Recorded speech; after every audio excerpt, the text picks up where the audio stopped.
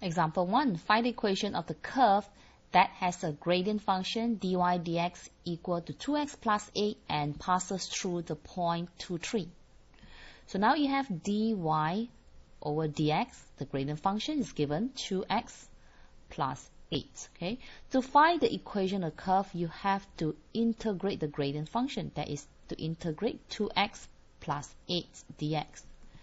Integration, you have 2x squared over 2 plus 8x plus c. Remember, this is the indefinite integral. You have to put a c there. So simplify your x squared plus 2x plus c. Now listen carefully. How to find the value of c?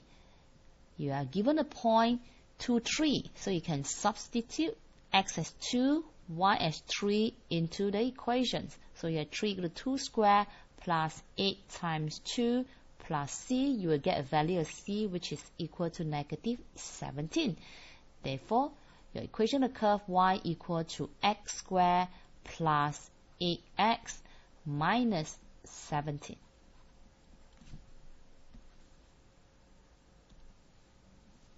Now we proceed to the second example.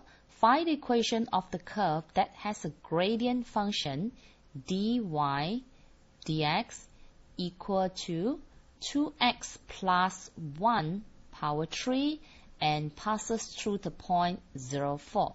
We're using the same method that is to find the equation of curve you have to integrate your gradient function. So now you're integrating a composite function.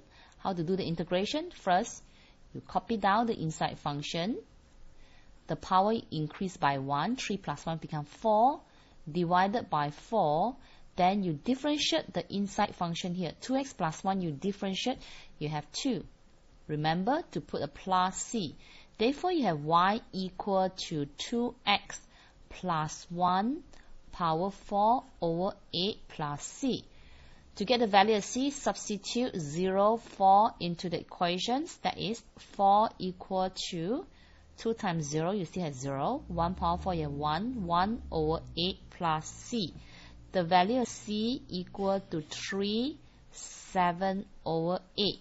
Therefore, equation of the curve y equal to 2x plus 1 power 4 over 8 plus 3, 7 over 8.